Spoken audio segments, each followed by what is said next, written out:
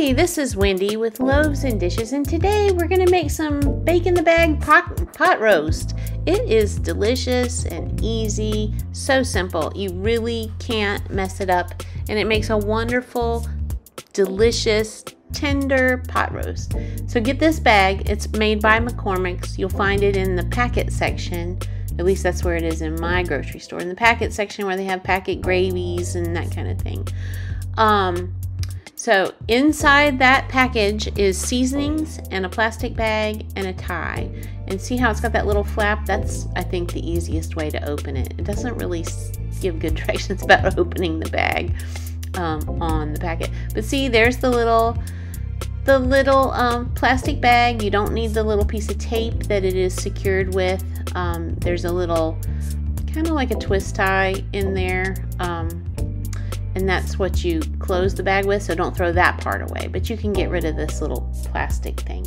Open up the bag all the way. Um, there's the little black plastic tie. Um, and then see how it works? There's a little um, hole and you just pull it through and you're going to only be closing the bag loosely so you don't have to zip it down completely tight. Anyway, open that bag completely up and put it in your baking dish, which should be about a 9 by 13, but I didn't use a 9 by 13. I used like a 9 inch oval baker, which also works just fine. It's a little tricky to get that bag open, you know, do the things you know to do. Anyway, um, now, see, there's the seasoning, and I accidentally cut the packet when I was opening it, but that's okay. We're going to be mixing that with water. I think the bag says to mix it with a quarter cup. I think I used a third of a cup of some warm water. Um, it's not going to matter that much how much you use. You're going to put your roast inside the bag. This is important to do it in this order. Put your roast inside your bag you can put the go ahead and put the bag in the baking dish first or second. But anyway, get your roast in the bag. Mix up your seasoning packet with your water. If you are using vegetables, you want to cut them up, especially if they're heavier vegetables like potatoes or broccoli or carrots, something more dense like that. You're going to cut those up into kind of bite-sized pieces. You don't want to leave the potatoes whole is what I'm saying. Um, if they're the mini potatoes, that's okay. You can leave as long as they're small and not bigger than a golf ball. You can leave those whole. So um, you can see here I have a chuck roast. And when you're choosing your chuck roast, you want to get a pretty well marbled one. That'll give you the best flavor. But anyway, put your little chuck roast down in the bag. Now my chuck roasts were extremely small. Like I'm going to say that was like a pound and a half and I'm feeding a big family, so I'm going to use two small chuck roasts.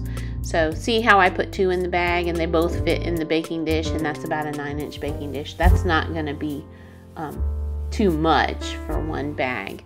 Um, if you really like to load on the seasonings, you might want to put an extra packet of seasoning on there. That's not going to hurt anything at all. Then you'll have an extra bag. But anyway, um, you're going to get your water and you're going to mix up your seasoning in your water. You're going to put your vegetables in the bag and then um, pour the seasoning packet over the vegetables and the pot roast. If you forget and you just put the seasoning over the top of the pot roast and then you add your vegetables to the bag, nothing's going to be hurt by that.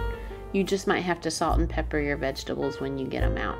So don't freak out. It's there's nothing lost if you don't get this exactly right. Um, you can see here. Here we go. Pouring this over. Now I'm not putting vegetables on mine um, because I like to do them separately, and that's what I did here. So um, just pour the seasonings on. I'm spreading them out a little bit because they kind of all landed in one spot on the meat. And then we're going to close the bag up. We're going to poke four holes in the top with the knife. And then I'm going to put it in the oven and let it bake for two hours. I believe the oven set on 325. Um, if you bumped it up to 350, no harm done. Um, I'm sure that most of our ovens vary by that much anyway, so there you have that. Now, what I didn't get was a picture of it when it came out of the oven, so you're just going to have to imagine. I used some stock photos after this to to show you what a completed pot roast looks like. There's my four little holes and that just allows some steam to escape so the bag doesn't explode in the oven. And there it goes into the oven.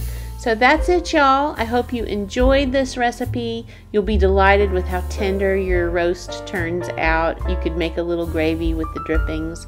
Um, it's delicious. Give it a go. Follow us at loavesanddishes.net. Bye bye.